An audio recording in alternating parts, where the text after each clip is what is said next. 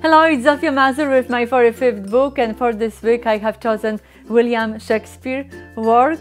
And when I, when I grabbed that book from my library, from my personal library that I love so much, uh, I thought that maybe it's like I, am too courageous to recommend this book. uh, because it's a heavy and, and have a lot of pages.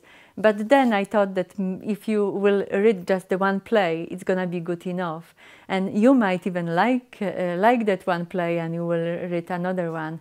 Uh, what I discovered over the time that that kind of work will help us with our creativity. So this is the reading for your own good. It's not like you read and you know and you will tell your friends, you know, I, I read William, William Shakespeare work it's just for your creativity because you are um, uh, entrepreneur, you want to be entrepreneur, you want to uh, have your own business and you want to know how to uh, do it right this time.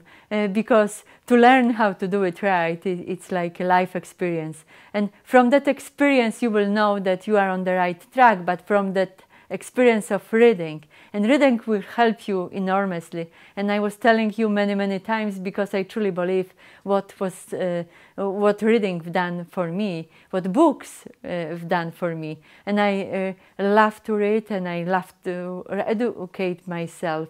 And that those titles that I was giving you over, over the time are marvelous, are marvelous.